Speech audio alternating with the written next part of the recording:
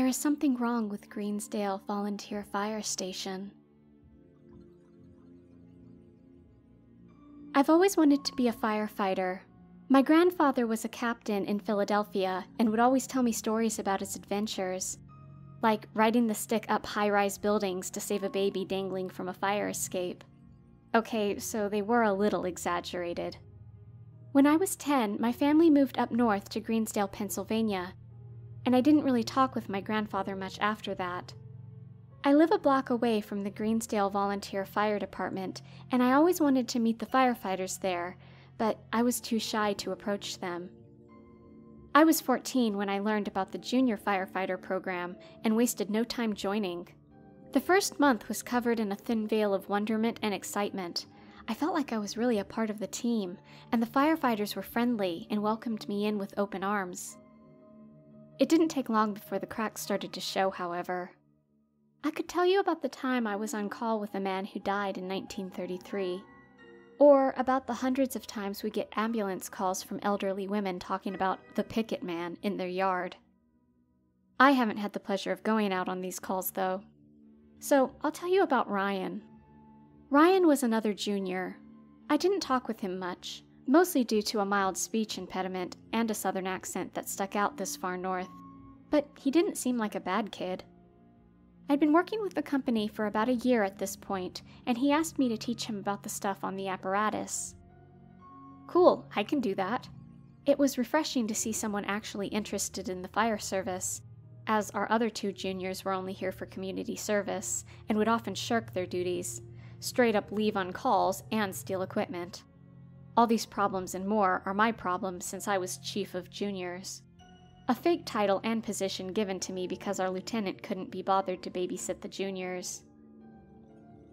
I went over the equipment on our truck, and when I started to move to the engine, he stopped me and asked, Wait, what's in compartment D4?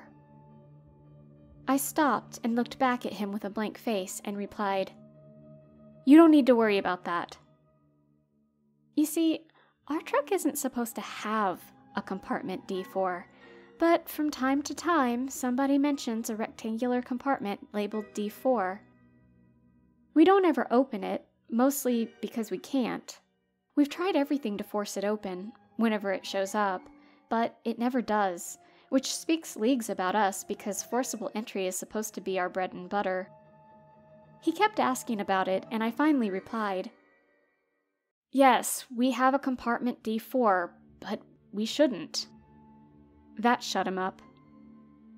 Occasionally, from the off duty room, or game room as we call it, you will hear an old call box ring. Most firefighters reading this will know what that sounds like, but to those who don't, it's pretty much just a bell rapidly being rung.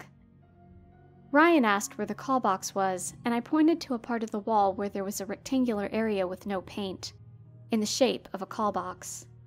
It was right there. We haven't used a call box for years.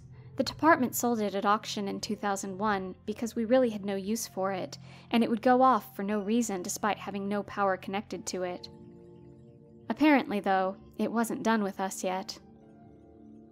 Ryan stopped asking questions altogether at that point. You learn to accept the weird shit that goes down here. One last story, this happened last night, and I can say it's the first time it has happened. I am currently studying to take my Firefighter 1 class when I am 18, and as most firefighters know, those can be stressful. I crashed at the station despite the curfew instated for juniors, but nobody really enforces it except the chief. I awoke to see a silhouette outside the window of the door. I rose quickly to try to identify who they were. When my vision began to focus, he vanished. Okay, kind of weird. I got up and left the room quietly as to not awaken the live ins who desperately needed their sleep. I faintly saw a figure cross a corner leading to a turnout gear storage closet. We aptly dubbed it the graveyard.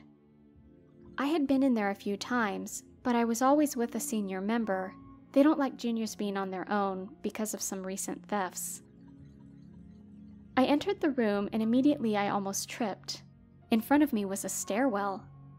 A fucking stairwell. Our bunk room was on the second floor, and this should have led into the social hall. I sighed and descended the stairs, accepting my situation. The floor was sticky. When I got down, I thought I could hear the faint sound of keys jingling mixed with footsteps in the distance. The room was dimly lit, though I couldn't find the source of the light. I saw wire shelves stocked with random stuff like plates, light bulbs, toy trucks, folding chairs, and soap. There was no pattern to these items. As I was looking at all of these, I didn't notice a nail on the floor. I stepped on it and screamed in pain. I heard the keys shift suddenly. Whoever was down here with me just turned towards me. The dim light went out, and I could hear the shelves and their contents spilling onto the floor. I turned to where I thought I came from and hit a wall. Somehow, the thing was still in pursuit of me, like it could see me. I heard a deep, distorted voice say behind me, What's in compartment D4, Matthew? It was not said like a question, but like a regular statement. Laughter erupted around me. High pitched, grainy laughter, like it was being played on an old recording. I spun around to see a man of average build, likely six and a half feet, towering over my five foot nine stature. His face looked like a marshmallow left in the fire for too long. I passed out and landed on the cold, sticky floor. I awoke in my bunk in a cold sweat. Thank fuck it was just a dream, I thought as I looked towards the door. But in the window, I know I saw that face again. I assumed it was a hallucination until I put my hand on the back of my head and I felt my sticky hair. And I noticed my foot was bleeding all over the sheets.